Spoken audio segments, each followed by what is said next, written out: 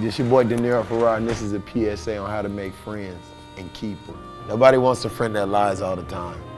It's easy to pick up on lies too, and liars. Come to school one day with like a really bad haircut and go and ask somebody that can potentially be a friend, what do they feel about it? They're like, oh man, it's cool, man. You're like, mm, nah.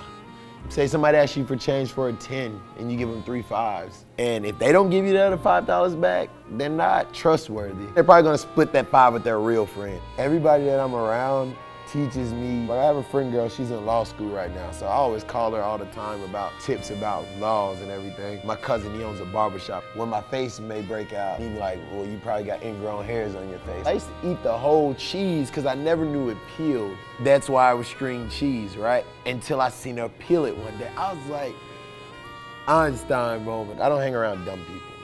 Do not kiss your friends. Kissing leads to other stuff, children.